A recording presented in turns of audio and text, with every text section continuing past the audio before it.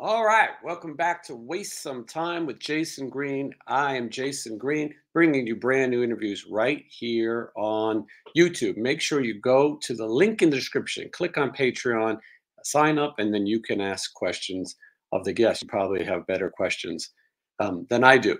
Also, make sure you subscribe if you like this video, or even if you don't, make sure you subscribe. Okay, today I'm excited to have Marq Torien here. Uh, I've seen Mark over the last few years constantly on the road, and I've always wanted to have him on the show. And we finally found a time to make that happen. A lot of you know about his career with the Bulletboys, but I'm also interested in his auditioning for Ozzy Osbourne and the time that he spent with Ratt. He was the lead guitar player for Ratt for a short time. We're going to talk about that. We'll talk about what went wrong uh, with the Bulletboys reunion, and uh, we'll talk about all of those things and more right after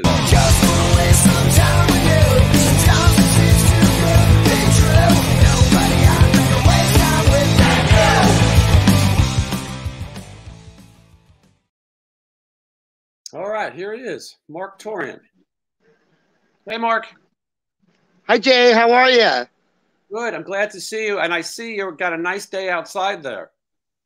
Oh, it's so gorgeous today. Thank you so much. It's really great to see you, and thank you for having me on your show. We've been we've been actually chatting it up a bit uh, every time we see each other. We got to do the show, and and I said, yeah, let's do it. And finally, so here we are. Yay! Yeah, and I'll say as a precursor, one of the reasons I think you didn't want to come on right away is you didn't really want to talk trash or get into uh, the he said they said, and I think you wanted to let some of that sit for a minute. Uh, absolutely. Yeah, which is great, and and it's fine. There's plenty of things to talk about uh, as well. Like I was saying, um, you're, I'm very interested in your time with Ratt because I see you out with Steven, and I think it's so cool when you come on stage uh, for You Think You're Tough, and you had a lot of involvement in that song. Before we get to that, Mark, I want to know, tell me a little bit about where you grew up. Well, I grew up in a city called Montebello. It's here in California, Montebello, California. Uh, it's in the San Gabriel Valley, and uh, it, uh, for all intents and purposes, it's very much a, um, you know, middle class town, a city within the city. But uh, the musical background of the city is really based in punk rock and R and B music. Uh, a lot of it. So I grew up, you know, with that, being born and raised here in Montebello. So yeah, it's um, it's great. I, I love my city. I love the people here, and uh, it's um, it was uh, how would you say um, not too many folks or people that I know uh, in the music business have really come out of the city and, and really done anything like like what my crazy uh, personality is dead in the Bulletboys, you know, and uh, the, it's it's really been great. Uh, I love being from the city. I've actually moved back here here recently, and it's it's great to see the um, what a large fan base of beautiful people that I have here in the city, and it's just been really it's it's really um, how would you say it's a humbling thing, you know, that I was able to touch uh, people with our music, you know. Yeah, for sure. And you, you're an Hispanic American, obviously. Were pe- people into the same things as you, or were you a little bit of the uh, the the ugly stepchild, or as they would say? Yeah, it was it the redheaded stepchild, right? Yeah. Yeah, no, absolutely. Um, you know, I grew up in a very um, skater community. I grew up skateboarding, surfing, uh, grew up playing a lot of sports. Um, so it, um, I don't know, you know, for all intents and purposes, I always tell people, you know, my, my game is tennis. Um, my father was a, a stalwart tennis um, player. He had been his whole life. So I think if I didn't go to college and uh, become a pro tennis player, that's what I actually should have done. But I decided to break my family's heart and go into the music business. well, but you, you, oh, we, we lost Mark. He'll be back. There you go. Um, but you did make it work, you know, and they got to see your success as well. Oh no, abs- absolutely. My, I love my family with all my heart. Um, they've been the stalwarts in, in my business. My, we just lost my father here about a year and a half ago, but my mother and father and I miss him. May rest in peace so so so desperately. but my mother and father are, have always been my champions in music, and um, have always been um, very supportive, and I'm very, very, very blessed and very fortunate to have the parents that I and that I do have because they drove me to to do the things and to chase my dreams and to work really hard to facilitate doing those things and to become the person that I am in the music business and all the other steps it took to get to uh, the band, the Bulletboys. And the world knows you as the lead singer for the Bulletboys, but they might not know about your guitar playing. Mark, when did you get your first guitar? Oh my gosh, um, that's a great question, Jason. Uh, you know, I first got my first guitar. It was a well, the guitar was an Aria uh, copy of a 335. Mm-hmm. Um, I think when I was about, gosh, I would say about nine or ten, probably about nine or ten. But uh, we always had old guitars lying around. I know my my grandfather played guitar, so there were always you know that guitars lying around. My father, uh, my mother and father are both musicians. Uh, my father was a trombonist for the uh, late great Stan Kenton Orchestra.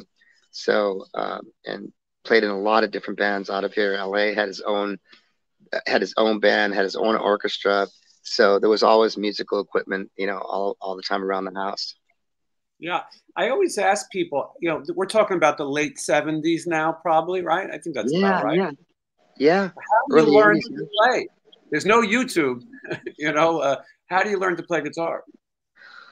Wow. Um, you know, I was playing guitars. Uh, actually, um, I wasn't singing. Actually, I, have always sang, but I I was always trying to be the guitarist for bands. Even when I was like 11 or 12, uh, I would have my mother would drive me to these auditions of these bands that are playing, and I'd be the guitar player. And they worked for a little while, and then they'd hear me start singing. They go, "Wow, you need to sing in this band." And we're like, "Oh shoot!" But I, I've been playing guitar for as long as I can think. I mean, as long as I can think I've been playing guitar easily since I was about seven or eight years old. You know, um, I love the guitar. I love uh, every aspect of the, the instrument. Um, I dedicated myself to the guitar for many, many years. Um, but uh, yeah, it's it's an um, instrument that I have a um, what is a love hate affair with because you're never as good as you want to be. You know, it's you're never as good as you're never as good as the greats, so you're never good as you know. I always feel that way because you're, you're always able to to be better and better and learn new things constantly uh, as as a guitarist. Were you self-taught or were you taking lessons? No, I'm self-taught. Yeah, which is uh, yeah. We said back in the day, you know, when we used to spin vinyl, um, I just sit there and listen constantly to vinyl and constantly to uh, uh, the guitars that I was listening to growing up on vinyl and constantly trying to uh, facilitate copying them would be like um, um, first guys would be like uh, Wes Montgomery, um, the great Wes Montgomery, um, the the great Jeff Beck, may rest in peace. Um, the guys that I first started with guitar, like that were my guys. Um, I loved uh, John Fogerty. I thought he was an amazing guitar player there were just guys that I kind of gravitated to, you know. Yeah, and, and you, are not going to be just a casual guitar player, as we're going to hear about in a minute here. You, you know, you, weren't, you, weren't, just a three chord, uh, have some fun kind of guy. Mark, at what point did you change your name to what it is now? Because your your last name, uh, you, maybe you feared that people wouldn't be able to pronounce it, and your first name you added the Q. What what point do you do that? When I was a kid, when I was in high school. You know, it's just uh, it was just something that um, that ne- I needed to shorten my last name because a lot of people didn't really they couldn't pronounce my last name. It's a Chilean last name, so it's it was kind of difficult for people to pronounce. So um, a lot of the guys would, you know, they couldn't pronounce my name either, so they would call me, you know, Torien. Hey, Mark, you know, hey Torien. You know, they would never call me my last name so I just kind of went with it, you know, and said, oh, you know what, I'm going to be Marq Torien, and um, and that was that was about it. What about the Q? Was there anything behind the, the fact to add a Q to the last name, your first name? No, I I just um, it was just something that uh, that I kind of did that just would change the and make my name a little bit uh, stand out a little bit more, you know. and it did. I think as the Bulletboys, you know, I, back in the day, we learned about our favorite bands and magazines. Nowadays, I don't think people can name half the guys in a band. But when you saw a guy whose name was Mark with a Q, it, you remember it. yes, it did. Absolutely. I still get that too. People go, Mark with a Q. It's like, mm-hmm. what's going on? It's like, oh, it's right on. No, but mm-hmm. it's all, it's always been like that since I was a, very, very young. You know, I would always play with stuff. I love, you know, I'm an, an, artist also too. I'd love to draw stuff, so I'd always, you know, paint up my name or what have you, and try to come up with different things because I wanted to be like the David Bowies of the world, and mm-hmm. and uh, you know, I just wanted to be that type of person, you know. Absolutely. Now, before you talk about playing in bands when you're younger, before there's a rat in your life, I believe uh, Cagney and the Dirty Rats comes first. Is that right? Uh, I, be- I believe so. I think you're right about that. I get Cagney and the Dirty Rats with Motown, with the greatest, yeah. greatest uh, record label ever in the world. Oh yes, thank you for mentioning that. Yes, I, I was very, very, very fortunate and blessed to be signed with Motown, and um, still consider myself part of the Motown family. Uh, they were the first label that I um, that signed me as an artist, and I was the guitar player and singer in a band called Cagney and the Dirty Rats. and it was um, I was signed by Benny Medina and Kerry Ashby Gordy Jr. And the experience that I had at Motown is definitely the greatest experience I've I've ever had. I think in my career, um, it's really taught me things about myself and music that I thought at the time I was, you know, I was really, you know, this. Uh, how would you say? Um, really had all my all my faculties together as a musician. I was a badass and I could do this and I could play this. But when it really came down to it, when I signed with Motown, I realized that I wasn't who I thought I was, but had to realize there was a, uh, it was a learning, uh, it was a time for learning and maybe taking some of the stuff when I was younger and moving it up to the forefront of being a better musician, learning how to really appreciate the people that were, were around me. I mean, Jason, man, I was, you know, I was around the great Rick James was, you know, helped write the record. Um, Junior Junior Walker blew horn on that record. Um, the great Smokey Robinson sang on that record uh, with us. Um, uh, the list goes on and on. The Temptations actually sang backgrounds on that record, and it was just like, just an unbelievable experience for me. Just still to this day, I still I still think about the things, and I'm very blessed that Benny and um, Kerry took the time to uh, to sign me to to Motown. Yeah, and you were you know you're a kid essentially at the time. Your yeah. age your age will also become a double edged sword. Age and yes. guitar are two things in your life that are, are, like you say love hate and will cause you some problems. So at some right. point, we this we know true. that we know that Randy Rhoads uh, when he passed away tragically in the plane crash, they were looking for guitar players. I've had so many people on this show who auditioned for that gig or thought they were close to it. George Lynch was the craziest of all the stories. They actually brought him out at one point to trail uh, Brad Gillis, and he was going to take over. And and uh, a, a, lot of people, Amir Derakh, uh, a lot of the same names, especially from the San Diego area, were all trying to get in the Ozzy at different times. And one of the guitar players who was very close to the gig is you. Yes. Tell me Absolutely. about how you how you knew about this and how you got in. Yeah, uh, well, the story is basically it uh, was pretty simple. Um, Greg Giuffria from Angel uh, was my mentor at the time. Uh, that was helping me and introducing me to a, a, lot of different people. I mean, I, I have to give Greg so much credit. Um, because when I came out of the city, out of Montebello, and into Hollywood, I was playing um, a club in Hollywood called the Troubadour, and I would play there in my high school band, three piece band. Then he brought so many amazing, huge rock stars to come and see me. Uh, um, Gene Simmons, Paul Stanley, Rick Derringer.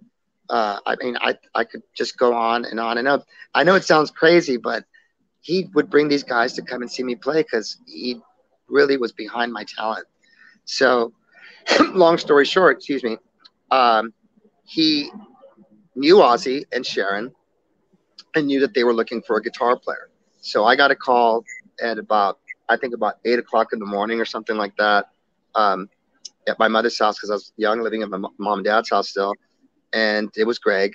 And he said, Listen, I need you to bring your guitar. I want you to come up to the house. Uh, he had a place up in the hills. Um, and I said, Okay. So I go, Why? What, what's going on so early? He goes, There's somebody here that, that wants to hear guitar playing. You know, don't don't fuck up, dude. you know, get here now. You know, it's like, okay, okay, okay. Don't don't ask me so many questions. So I drove up there, and sure enough, I walked in the door, and Ozzy and Sharon were there, and uh, it was just blew my mind. I bought my, you know, my little my guitar, my little amp, and he sat down, and uh, and Sharon was so lovely and so kind to me, and thanked me for coming up there. And he said, "Can you play some guitar for me? You know, do you know any? Do you know any of my songs?" Yeah, and I started playing, you know, over the mountain and what have you, and started playing. And he just loved the way I played. And we sat there for a while, and uh, he asked me if I would, you know, be into, you know, playing with the band or auditioning and coming in and playing. And I was like, wow, this, yes, you know, what do you need from me? So after meeting him there, um, he just kind of brought me in and I started rehearsing at SIR with the whole full band. Um, Rudy Sarzo was very much um, really helpful in that whole situation because I was scared to death playing in that band. I mean, I was so young, and here I am, you know, with the legend himself, who was such a sweetheart to me and so kind, uh, Ozzy. He was, and um, first of all, he went. We went up to Charvel. He bought guitars for me. Um, uh, Grover was really great. Put together some guitars for me. I love Grover. Shout out to him. Um, I've known Grover for so many years too. I bought one of my first guitars from him um, up in San Dimas with Charvel. Long story short, so here he comes back into the fold, and I just start playing with the band, and uh, I thought I was doing really well. I thought the you know he seemed to really enjoy it, loved it, loved the way I played. Um, all that aside, uh, we were ready to go. The first dates were in England.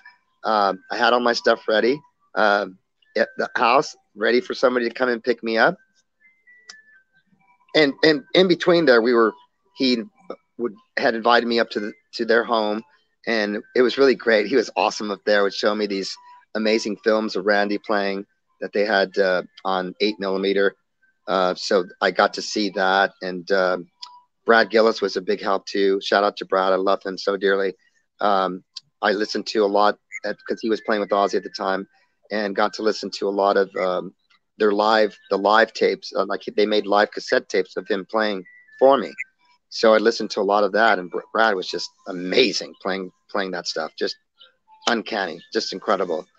Um, to to me, I was just like, wow, I gotta I got to play better than this guy.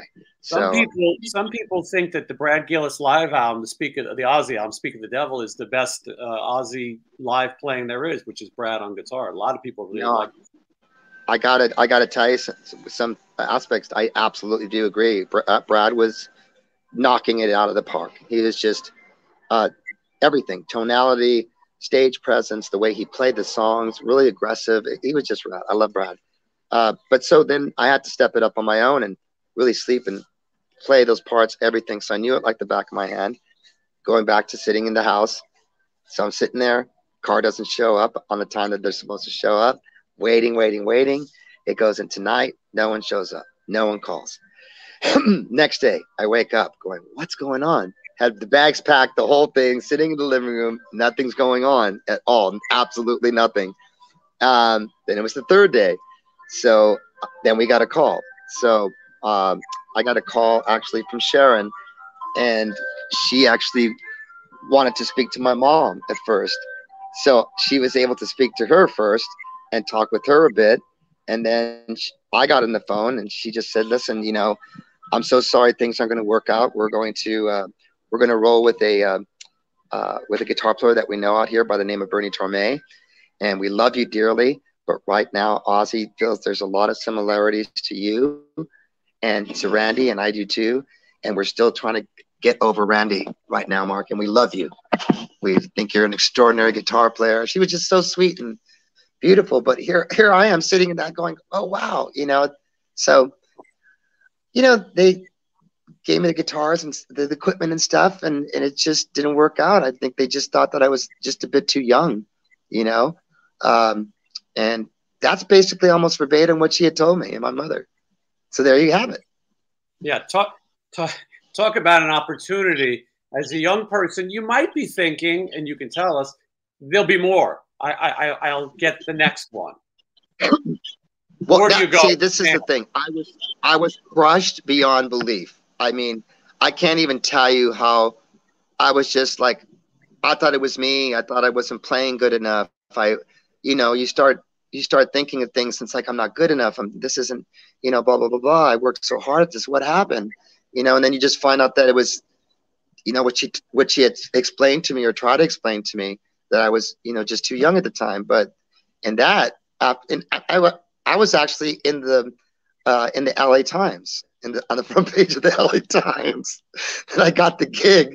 So it was kind of it, it was it one joke was like it was like oh cool, and the other joke was like oh shit, you know, it's this this thing. So, and that's when Stephen Pearcy and Robin approached me to come in and play with Ratt after that gig fell out. Yeah, and listen, you had the Ozzy gig. You were, you know, uh, obviously now people are going to talk about you even more. You're sought after, and uh, those guys know, hey, if he's good enough yeah. for Ozzy, good enough for us. I, I believe, and you could set it straight. The story was maybe they weren't getting along with Warren at the time, and Warren was taking a little break. Well, yeah, he was. They weren't. They, from what I understood, you know, at the time that they just were didn't want him in the band anymore. They were done. Um, there was some friction there, and so I I don't know the inner workings of what was going on before I came in, but I just knew that uh, I was really close with Stephen and and Robin, and I just hailed them. I just loved them and loved the band, and I was always around, and um, they knew that I was hanging around, you know, the circuit and the thing that just happened with Ozzy, and um, I came in and I loved being, I loved playing in Ratt. I just, I had such a great time in the band. And uh, I think what happened was, you know, Robin was told me at some point, you know, I, I actually came into rehearsal when everything was all over and, you know, Warren was playing on the gear, on my gear or his gear or whatever. My gear was, just like, I was like, wow, what happened? And it, it, it crushed me after the whole thing. I mean, it was like, it was brutal because I loved being part of Ratt. I was, um, you know, I was in the band probably for almost maybe a year, um, but I helped them write uh, one of their first hit songs, which is "You Think You're Tough," and with Robin and Stephen, and some other songs. And for all intents and purposes, you know, I have so much high respect, just brotherhood and high respect for Stephen, um, because he had the tenacity that I got to see and be a part of at the time of how he got signed. he wouldn't take no for an answer. He worked so diligently, constantly. It was a 24/7 thing. One of the things I do remember, I, I don't I don't know if you remember if, if, if you'll agree with me, but I remember always seeing a, um, um, he had a hanging calendar, and at the end of each month, at the very last day of the month, he wrote in, "Ratt will be signed on this day." So those kind of things are manifest when they're when you're manifesting something, you know, back in the day. So I got to see these things that he was doing with the band, and it was I was had so much respect for him. I mean, that he had to let me go. I mean, they even told me they listened. You know, Stephen told me, Mark, you're such an amazing singer. You got to start your own band. You put your own thing together, and and you're gonna make it. You know what I'm saying? Like he was so loving, and so was Robin. I mean, you know, it was it spurred me to do what I needed to do. I'll never forget. Um, I used to come to the shows when they were huge, and I went to one of the shows at um, uh, Sports Arena or something. Maybe, maybe it was, and um, and I'm watching them play, and they sounded great, you know. And I'm just, I'm just so bummed out, but so ecstatic for them making it finally, you know. And I remember going and, and almost going in the front and standing right there just so I could see what's going on. And Robin came all the way over from the right hand side of the stage and came over, pointed at me, and played right to me like for a long time, man. And that told me right there that like he loved me and he had respect for me, you know. So things like that that I remember in my head, you know, just little things like that were always great. But you know, I got to see Ratt become so huge, and um, it was such an exciting time, and and you know, bands like that help spur other bands like myself that you know put together Bulletboys to say, yeah, listen, you know, let's follow our mentors and our guys that have made this, and let's put our own thing together and and come out and you know with how Fire and take the world over, you know. so yeah. that's that's basically it, kind of in a nutshell, you know. But well, I, uh, I want to go quick. Well, I want to go real quick. I'm so sorry.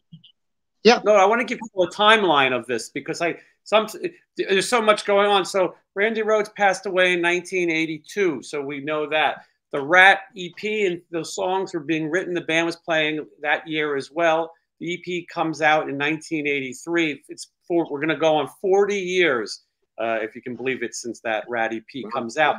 Who was playing bass when you were in Ratt? Uh, Juan Croucier. Okay, so Juan was in at that point because I know he went. He was going back and forth between Dokken a little bit. Yes, he would come into rehearsal and he would say, you, you know, he'd, he'd show up late all the time, and and Bobby was furious. He'd start screaming at him, "Hey man, how come you're always late, man? It's me. Come on!" And he goes, "Listen, Bobby, I love you guys. I love all you guys, but you know, I play in Dokken, man. I'm, you know, I'm trying to help you guys out. so that was that was his thing at the time. And you know, I'm so young. I'm just sitting there like and going like, wow, you know, look at these guys working. These guys are, you know, like whoa, you know. but yeah, I remember that he would tell them all the time, and Steve told them told them one day, dude, you're not in that band. You're a rat. Get over here. You know, let's get this thing going. So, but Steven, no, Bobby. Good. Bobby and and and and Juan were a wrecking machine of a mm-hmm. of a rhythm section. Uh, the power and the finesse that they both had as t- talented, super still talented, super music- musicians were was amazing to watch uh, when we rehearsed. I used yeah. to I used to I used to really be in awe of it, and it's it was a learning process for me too, learning how the you know how it really worked, how really you know a bit older cats did their thing and and how they so serious about it because sometimes you know you know when you're young you don't take things as much seriously but it really taught me a lot of things. And uh, um, I, I want to just say real quick I, I, love Robin Crosby with all my heart. I, I miss him dearly. Um, he was such an angel to me when I was young and taught me so much about guitar tones uh, strings um, anything that had to do with guitar. Because when I first came into the band, I was doing different things with my amps and and you know Robin really helped me get to another level of trying different things that he was doing at the time um, uh, with equipment and different you know different settings and Furmans and lexicons and you know blah blah blah blah blah. Not to get technical, but you know I just he was just an incredible human being on first of all, he had a huge, gigantic heart, and you don't find those type of people in the business these days, you know. So I just want to give him all the credit too because he was the one that with with Steven uh, that pulled me into Ratt. Yeah, you're not alone in that sentiment. Most people have very good things to say about Robin. They say that Robin was very protective. Matt Thorne yeah. uh, tells me a fun story about in the beginning, Stephen might have been Steven might have been a little bit of a hard driver. Hey, get this gear, pick that. And then he Matt hey. told me that Robin, yeah. you know, totally. That Robin sort of was kind of the defender for everybody. I asked Steven yeah. before, you know, the guys in Ratt had so much trouble getting along at times. And Robin right. could literally just get between people. He was a big yes, guy. Would. Yeah, and, he would. He would. Oh man, he shut people down so hard.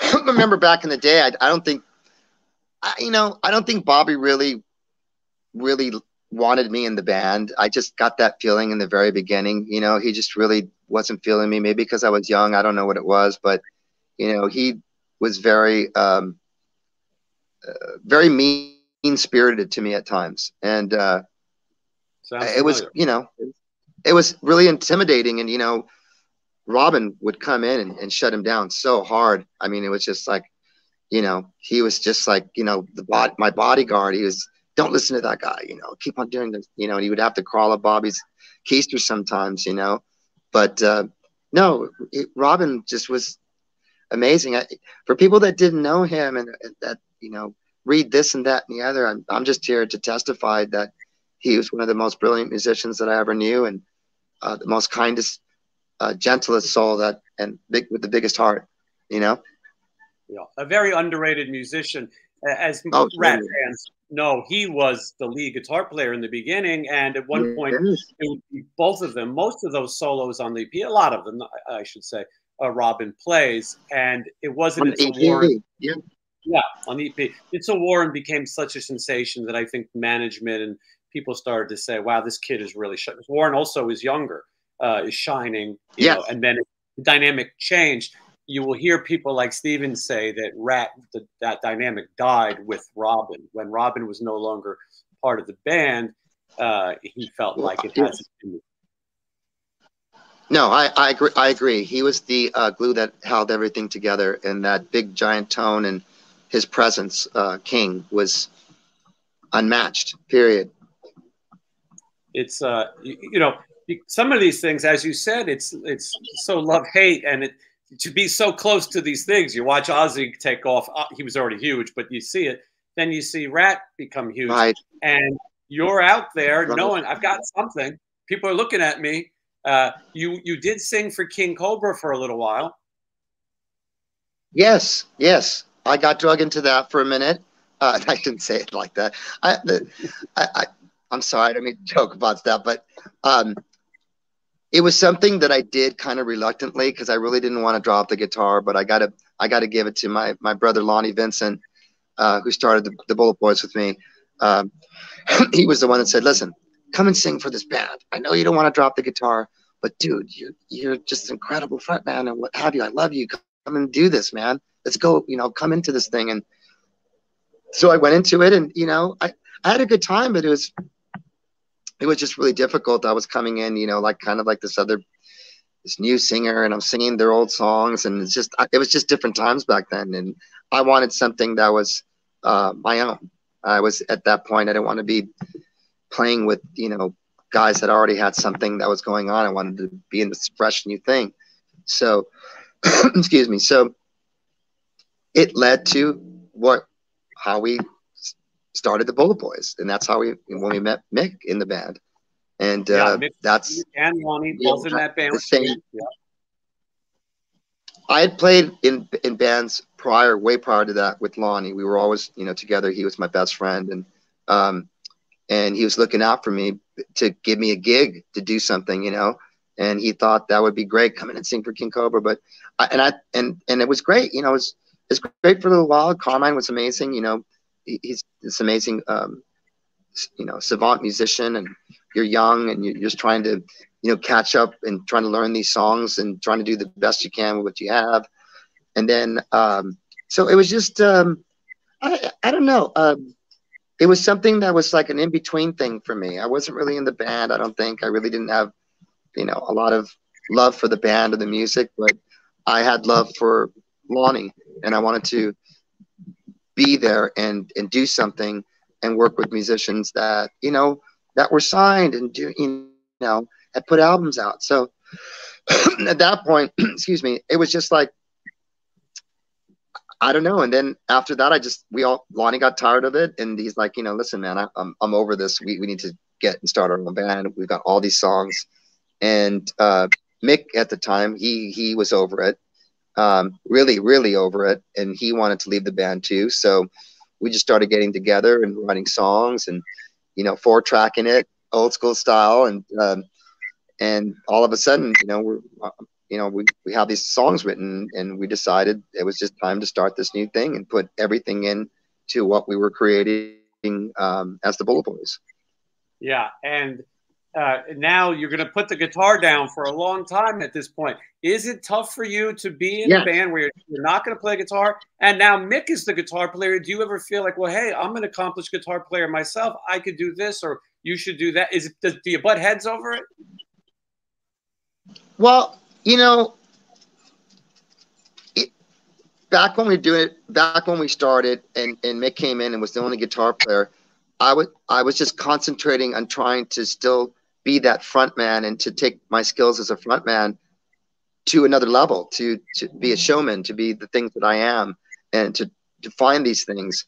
So at the time, I wasn't thinking about oh, I got to play guitar because Mick was just doing an amazing job at doing as being just the one guitar player and Mick had just come from a two guitar player band. I don't. He was never comfortable with me playing guitar. We would play guitar together. We're working music. Um, I'd sit around and show him different things that I was doing, in lead and solo wise, and blah blah blah blah, and you know, show him some things, you know, and um, open up his mind to uh, other thing, other things guitar wise. Um, but uh, it, I would have loved to play guitar too, but it never never really happened. So your fronting worked. I just concentrated on singing. Yeah, obviously it worked. Yeah, your it worked. you know, your Motown influence shows in the way that you front the Bulletboys. Uh, you know, uh, you, oh, you're, you're, you're song and dance man up there, and maybe you couldn't do that if you play guitar the whole time. You do play some guitar currently in the band, um, but yeah, uh, yes, think, absolutely. At the time, I yeah, think the world it really did. Yeah, yes, it was. Um, it, it does hinder you a bit, you know, when you're playing guitar and, and, and, and fronting, but it's, uh, I, I, I'll, I'll never, you know, it's something that, that I'm always very grateful to, to Lonnie for having the faith in me at the time to be this person and to step out of my own shell and be this, this guy. because he's seen it a lot. He says, you, you know, you did it at Motown. Just do the same thing that you did at Motown, just without the guitar. It's like, oh, okay. Yeah. But it was well, great. I mean, it still is great. I, I love yeah, I'm sorry. Go ahead. A lot, of Van, a lot of Van Halen influence. Obviously, Ted Templeman produces the first record. We could never imagine David Lee Roth playing guitar. We, we know him as the frontman, and I think that's what people um, got to know you. I think it wasn't until years later that people started to hear about Ozzy and Ratt. I'm talking about uh, the, the, nationally, you know, yeah. locally they knew that. But you created all, you know. Yeah, I don't think most people knew. And obviously, yeah. you weren't a shabby yes. player. Yeah. Oh, thank you, um, thank you so much. Uh, I, I, yeah. you know, it's like after after everything was said and done, you have to reinvent yourself, Jason. And you know, everybody's asked me, well, why don't why don't you have blonde hair anymore? Why don't you do? Because you have to reinvent yourself. You can't just be pigeonholed to the same thing. I, I'm, I'm a chameleon. I've always learned to, you know, not only change with the times, but you know, you got you got to you know find new different things as an artist and you know to to make yourself look and the way you look and blah blah blah, blah. but you know it, it, i'm i'm still the same person. I i still got the same uh pretty much the same vocal ability. Uh, i would say i'm very blessed with that. Um i'm working really hard um right now creating a double album for the Bulletboys to possibly be released next year well, not possibly. It's definitely going to be released next year. But on the calendar, you know, music's music's changed. Music, um, the business has changed. Um, at the time, it was a very lead singer fronted rock and roll situation, and I always believed if we could be a two guitar player band, you know, you would have more weapons or more things to, to more of an arsenal at your disposal. Um, bigger sound, a couple songs, what have you, and that's what the band kind of morphed into after the guy the guys had left for years. I said, I'm going to put the guitar, strap that thing back on, come out and play, make it a two guitar band, reinvent it, and now here we are. Myself, Ira Black, Brad Lang, Fred Aching. I can't tell you how much I love these guys the dedication to the business, the, the fun that we have together without even playing music, it's easy. And when it's easy, good music comes out of it. You know, everybody's a different personality and you have like this conflict musically, but it all, all makes sense at the end. And we're coming up with this really amazing, great. I'm, I'm really happy with the music that we're coming up with. And um, I think people are going to be really stoked because we're trying to shine some light and trying to bring uh, a little less politics and a little bit more fun and a little bit more rock and roll to what's going on. That is not a bad thing. Marq, I was saying earlier, we run into each other all across the country in different double trees and Hiltons and Marriotts. Totally. And, uh, and uh, you are always uh, an incredibly pleasant and nice guy. I don't work with you, so I can't say all the time, but I, I will say that you've been great. I want, to, I want to share, Marq, the first time I ever met you. This okay. is a picture that I'm going to show right now. And this oh, picture, okay. I'm not positive the year, but I'm going to say this is maybe 1991. The venue is CBGB's. Uh, here, I, here, we are. Lonnie Vincent is missing. That's kind of been a pattern sometimes. Oh my gosh! Yes. Look that at all that hair. Epic. So rad. you, guys, so rad. you guys were on tour with Poison, and somebody in. Poison got sick. I think it was going to be at the Meadowlands in New Jersey and you guys wanted to play a show, a, a pickup show. You had the night off because all suddenly, and uh, Bullet yep. Boys played GBs. Me and a few of my friends went. It was a great intimate yep. show, and uh, this picture was taken. I think it's sound check maybe, um, but what a cool memory! Uh, one of the most legendary venues of all time. Um, Please so send that to me. Yes, I will absolutely. And uh, I think so I have some other amazing. pictures from from that night um, as well. But so okay, so let's talk a little so, bit about people yeah, don't we'll people don't believe me. They don't believe me when I tell them the band played CBGBs a couple times. No one ever believes me. So thank you for having that picture. yes, there is, there is the the proof. It was a it was a fun night. I think it was a weeknight, and you had the local people yeah, it and so the people rad. it out. Mm-hmm. Yeah, the place was place was packed. It was so much fun. We threw it down. It was so great. What a great, ex- amazing experience still to this day for me. Yeah. Oh, what a you you played a lot of key places in your career. Uh, being a West Coast band, even yeah. cooler to get to play CBGB's, a place that maybe you wouldn't have. You know, you oh. the Bulletboys was already too big to play a place like that. You could only play it as a secret yeah. show. Um, no, absolutely. So we were. Uh, I was I was scared to death to, to play CBGBs. It was one of the most frightening shows I think I've ever played ever. Um, I just, you know, coming from a punk rock base when I was a kid, um, rock and roll, R&B type of thing, you know, I just was like, wow, man, we really got to throw it this down. So ridiculously ugly in here. And we all, I remember we all got together before we played and we're all looking at each other like, okay, let's bring this let's bring this like at a real stupid loud let's get ridiculous because we used to break all of our equipment all the time i don't i don't know if people really knew that but i some people know it because they saw it but we thought we were the who and we would break real stuff i mean real drum sets uh, mick would bust over his equipment you know all kinds of stuff bust real gibson les pauls we were just out of control because we were high on alcohol and chemical refreshments. But that's another time, another story. but that's what we would do. So we were we were like we were like that night we're telling our manager Dave and going and and Jimmy's like, we're gonna break everything tonight. And Dave's like, no, no, no, no, no, no, don't do that. We're yes, we're in CBGB's. That's the time to do it. We're gonna bust everything. Lonnie, you're gonna bust everything. Yeah, I'm gonna bust everything up. And we didn't do it. We're we were uh not allowed. Which sucks. But uh, yeah, you had the moment. Lonnie played that show in his boxer shorts. I remember that. Uh, so uh, uh nothing else. Yeah. Yeah. Yeah. So there was yes. definitely uh, an attitude and a vibe. So I don't want to dwell too much on, yeah. on boys uh, controversies, if you will, but I had Mick on yeah. the show twice. I had him on before, well, during the your, your reunion got shut down during the pandemic, like everybody. So you did the one gig, some time went off, and uh, and he urged everyone to go see the reunion. And then I had him back on, and it was over. And I don't completely understand what went wrong, although I know there's a lot of personalities. I know there's a lot of history. There was a show at the Whisky. Lonnie Vincent missed his flight, um, and you wanted to play the show as an acoustic show. Mick did not. I, I guess Jimmy did not either.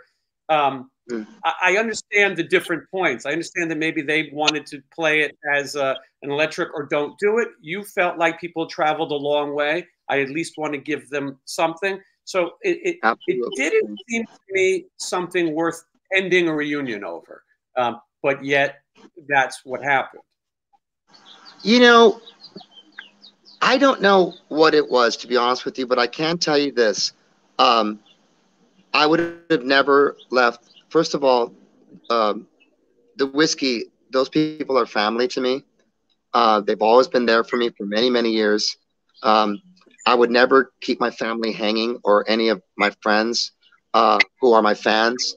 Um, I wouldn't ever, ever do that. I, I can't do that unless I was death, extremely ill, sick, or you know, powers that be. We couldn't do it, but uh, I just didn't feel it was right. You know, we we were supposed to be there, and it was time to perform. It doesn't. The show must go on. So that's what I've been taught, and that's the way I've always been in my career. Um, as far as the original guys, you know, I'm just going to be really honest. I I don't. I have a lot of love and will always have love for them, but there's nothing really to say. I mean, really, uh, I wish them the best in their musical endeavors. I, I I hold no ill will toward anybody. I love them with all my heart. I just was talking with Lonnie a couple days ago. We chat all the time, but yeah, um, I know you're in contact. You know, I know you're still contact with Lonnie. Um, I'm assuming you haven't spoke to the other two. No, I was uh, I was taken aback by uh, some of the things that they both had to say, and you know, listen, I don't. I, I'm not. I I will never bash anybody or speak disparagingly about people uh, that I love, or that maybe that's something that didn't work out uh, musically. But like I say, I wish them the best, and with everything they do, and and you know, good luck in this crazy business. But you know, we move forward, and uh, we got to do what we got to do. It seems like you guys really were doing it for the fans. I, I did get that impression. I don't feel like, you know, yeah. of course everyone wants to work and there was an interest. There are no real original lineups. I think Winger is one of the only ones, maybe Poison. Other than that, I don't think there's any original lineups. At that point, you and Bang Tango, Bulletboys Bang Tango, both have the lineups both had some issues. Um, sometimes when you're not the biggest band in the world, you know, maybe a band like Motley Crue or Aerosmith or Van Halen, if they don't like each other, they could travel separate or this or that. But for you guys to do these shows, right. um, there's obviously a lot of issues that uh, reappeared, and so I had, uh, I had great, I had a great time playing with them. I I loved them. We had great shows. I was loved it. I walked into the thing for the fans. Um, to do something really special. And, you know, I, there was a lot of turmoil before I even came back to the band that I didn't know about. So when I walked back into it, there was already this friction of the three of them that they hadn't even spoke like in months before I even like came past, back to it. So you mean like past drama coming back? For for them, yeah, for things that they had gone through in some other project they were playing in. But that was, you know, I, I didn't know about any of those things. So I came in with an open heart, ready to work and ready to do some things. Um, I know that uh, we put together, um, try to put together something to release to the fans musically. And that was very difficult. Um, I, I don't know why. I've written all kinds of songs. We had all kinds of stuff. And I don't know, you know, just it wasn't in the cards at the time, you know, and people have different. I don't know. I, I don't know. I just, uh, I just, you'll never hear me bashing those guys. I love them. I love them dearly. And uh, I, I don't feel it's right. I've being in the business so long. Um, you don't come up and talk disparagingly about people that you love and that you've worked with. So I and I don't. I have nothing but uh, for, with love for those guys. And and like I'll say again, not to be redundant, but I wish them the best in the future and the best in their musical career. Yeah, and they and they everyone has their own projects. Um, you hold the mark for the Bulletboys. You have all this time. You're the voice of the Bulletboys as well. So you continue. You mentioned the lineup that's out there and playing. Double record uh, coming next year. We'll put a link in the description so people can follow you and and and keep up with it. And like you said, you're playing a lot of shows. You're out there constantly, and um, and you, I, I, feel like you're playing the songs that people want to hear. You do the show that people want to see. I, it seems like people are, are very happy. I see, you know, I've seen you on a few bills, and the people are um, enjoying it. So I, I, would ask the question: Do you there be a reunion again? But I'm not sure it's something you could answer. No, I, I can't answer that question right now. Um, you know, I'm just ex, ex, ecstatic about the guys that I'm playing with. I think it's definitely the best that I've played with in in, in many many years. Um, and we're filling rooms, and the fans have just been so endearing to uh, Brad, myself, Ira, and Fred. And you know, we've we've been together for almost over a year and a half. Uh, we're playing a lot of festivals this year, um, and we're playing a, a lot of different. Uh, have many many shows that are coming up. Um, but yeah, I'm I'm just, you know, you go day by day. Um, I have a lot of faith um, in the Lord, and He guides me. Uh, I'm not perfect. I make mistakes like everybody else does in this crazy world, but I just try to do the best I can with what I have. And right now, I feel like I'm really, really blessed um, and ecstatic about the new music that we're writing, ecstatic about the touring that we're doing. Um, all the love and everything. My biggest heart I can throw out hearts to all the fans that have been there for me. And I, I, I don't consider my fans fans. I, I consider them more family. Um, I chat with them all the time at shows. I know you see me, Jason. I, um, there's always somebody that I know or, you know, they've been with us for a long time. And, you know, we're kind of like the, I don't know, it just, it's just Bulletboys. We got, the, you know, this different thing. We just, there's just something a little little different about us. You know, that's I, I enjoy I, I enjoy the dynamic when I see you at the last show, uh, Canyon Club. Stephen said we're going to get Marq up to sing, and uh, yes. we're coming to that song. You think you're tough, and I said I don't know where he is. I haven't seen Marq tonight. And then, yeah. uh, like a cat burglar dressed in black, you appeared on stage uh, to sing, and then just like that, you were gone into the night. And uh, but it, it, was a, a fun uh, thing for everyone to see, and a little bit of Ratt history that night in particular. Matt Thorne on bass, he played on the metal. Amazing. Mat. Yeah, he's yes, amazing. I love Matt. Yeah, he's so, so badass. I just love him so dearly. Big time, big respect. A lot of uh, a lot of fun uh, history there. So I was glad to see you.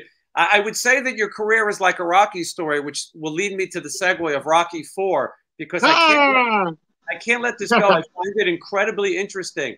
Uh, a friend of mine, Joe Esposito, he wrote a song um, called "You're the Best Around." It's in the movie The Karate Kid. It was supposed to go in Rocky Three, but there was label problems. Uh, Scotti Brothers and and but uh, Stallone, Stallone uh-huh. really liked it.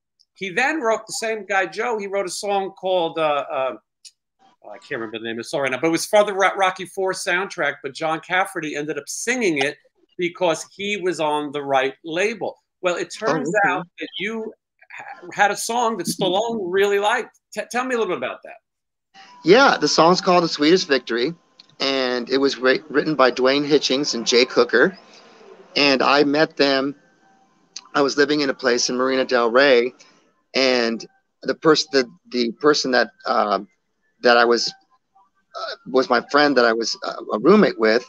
He met this guy Duane Hitchings, who lived close by, and he was out working out or doing whatever, and met this guy and said, "Hey, I, I you know, my brother Marq, he's he's an amazing singer, man. You, got to check this guy out." He says, "Well, we're looking for somebody to sing the song that we wrote uh, for the Rocky Four motion picture." So he comes in, dude, you gotta get your ass back. I just met this guy. I said, whoa, whoa, whoa, what's up? He goes, dude, I just met this guy. His name's Duane Hitchings. He used to play in Cactus. And I go, oh, dude, Cactus is so rad He goes, yeah, they're looking for somebody to sing the song. So sure enough, that evening, went over, heard the songs. Duane is such, was such a sweetheart, still is. And um, he goes, can you come in and sing it the next day? So I came in and sang it, worked it out. We sang it, sang different, did everything I could. They played it for uh, so for Sylvester, and he loved it.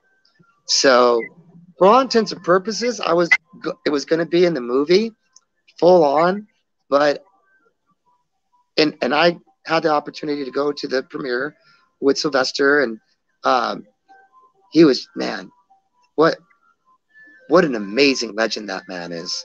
I was so blessed to be around him, just how cool he was, and his knowledge of things and the business, and uh, having chats with him, and you know how much he was a part of what he is and how hard he worked, and to be able to see all that was just amazing when I was young. So I, I didn't have the same issue with with the label, and they never put it at the end of the they never put it at the end of the movie like they were supposed to.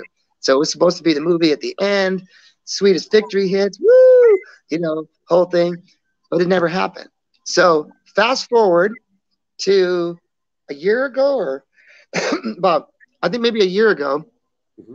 Mr. Stallone did a director's cut of the movie and he put the sweetest victory back in at the end of the movie. it's amazing. He recut the film the way that he wanted it. There were things yes. that had always bothered him, and he directed that movie, and he he went yes. recut, and it's so cool that he put that song back in. Oh, are you kidding me? I lit, uh, Jason. You know me. How, you know how much things hit me in my heart. I cried. I mean, it it like was of tears of joy because I was like, God, I worked so hard on that song. I mean, they had me flying. Um, I went and re- when I went and recorded the, the, the final version of it. Um, I went up to a studio called Bearsville, which Todd Rundgren owned up in upper up um, upstate New York. Uh, I don't know if it's still there, Bearsville Studios, but at the time they brought me up there, and you know I have no idea who's I'm going to be singing or working with, who the producer is. So I walk in, and the producer was Jimmy Iovine. Mm-hmm. So he was the producer on that. Um, the drummer for Simple Minds was was doing the drum session when I came that day. It was just like unbelievable. People were playing on this on this track, um, and I got to really meet some amazing people. I met Chrissie Hynde there, um, and they just loved my voice. So I was able to do some amazing work with people, and um, yeah, I was worked really hard. And then so now moving back forward again, and the song's back in the movie. It's just like, yeah. So the song came back literally like Rocky. yes. yes, for sure. Marq, did you so, ever think of, or maybe you did, did you ever think about doing jingles or, or uh, singing commercials and doing uh, soundtracks? Did that ever come into your life, a studio thing?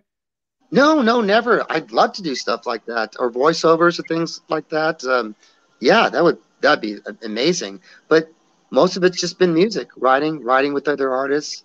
Uh, I've worked with um, recently and, and, wrote with my my dear friend uh, Jesse Hughes, Mr. Father Badass from the Eagles of Death Metal. Shout out to them. I love them and love him. Um, and worked with him on a couple albums that he's done here recently. But yeah, I'm just you know, I'm just enjoy doing what I'm doing right now. I'm really have all my oars in the water, as an, as my grandpa would say uh, back in the day, of what I'm doing right now with the music that I'm working on and writing. So it's it's it's quite a handful. Uh, I've had writer's block a little bit this past month as far as lyrically is concerned. So I'm starting to get back into that again. But yeah, it's a really a labor of love that I'm trying to create something really special for our fans and the band. Yeah, well, that's a great thing for people to uh, to follow. I appreciate you coming on, Marq. I, I always enjoy talking to you, seeing you in like I said, you, Thank you. Lobbies and Denny's or wherever else we see each other. No, totally. Like we just saw each other on stage, and I was like, ah, yeah. yeah. But no, thank you for having me, and uh, and I just want to thank the fans out there uh, for believing in me still and believing in this band. Um, I love you so dearly with all my heart. Thank you for being there for me all these years and and just being stalwart friends in my life, dropping DMs to me, um, saying beautiful things and very uplifting things to me. I love you guys, and uh, I really want to thank the fans. Uh, they're I, I, I tell I always say this every night. Steven Steven had mentioned this to me because I love when you say this. I and I mean it. I tell them I'm not here for myself tonight. Never am here for myself. I'm here for you when I perform. That's what I do. Very well, Yeah, very well said. Uh, thank you everybody for watching. Uh, make sure you subscribe, check out Marq, check out new music from Bulletboys coming uh, soon, live shows uh, straight ahead. So uh, thank you, everyone. Thank you again.